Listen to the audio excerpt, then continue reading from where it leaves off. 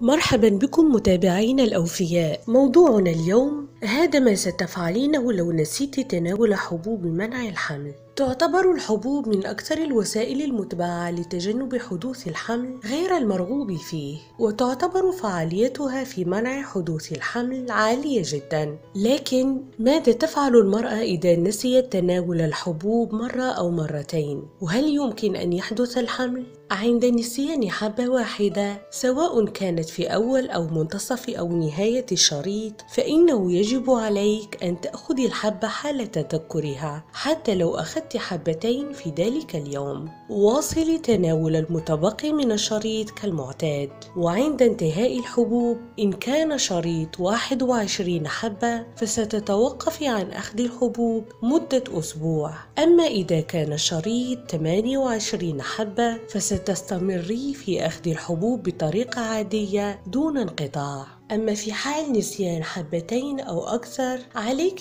بتناول الحبة حال تذكرها ولو أخذت حبتين في هذا اليوم. لا تتناولي بقية الحبوب التي نسيتيها. أكملي الشريط كما المعتاد كما ولا بد من وسائل إضافية لمنع الحمل في الأيام السبعة التالية. وإن قمت بالمباشرة بشكل غير آمن في الأيام السبعة الماضية ونسيت حبتين أو أكثر في الأسبوع الأول من الشريط فعليك عليك بحبوب منع الحمل الطارئة. وإذا فاتك تناول الحبة ذات ثلاث ساعات تناولي الحبة التي فاتتك فور تذكرها وخذي الحبوب المتبقية كالمعتاد ولا داعي لاستخدام وسائل منع إضافية. أما في حال نسيان أكثر من حبة تناولي حبة واحدة فقط. خذي الحبة التالية في وقتها المحدد مع وسيلة إضافية لمنع الحمل لمدة يومان بعد تناول الحبة التي نسيتها نسيتيها لوجود فرص للحمل لأنك لن تكوني محمية من حدوث الحمل. وإذا كان تقيؤ في غضون ثلاث ساعات بعد أخذ الحبة أو أصبت بالإسهال فلن تبقى الحبة في جسمك وقتا كافيا لمنع الحمل. استخدمي عندئذ واقيا أو امتنعي عن المباشرة حتى تستعيدي صحتك وحتى تمضي سبعة أيام التي تناولت أثناءها الحبة.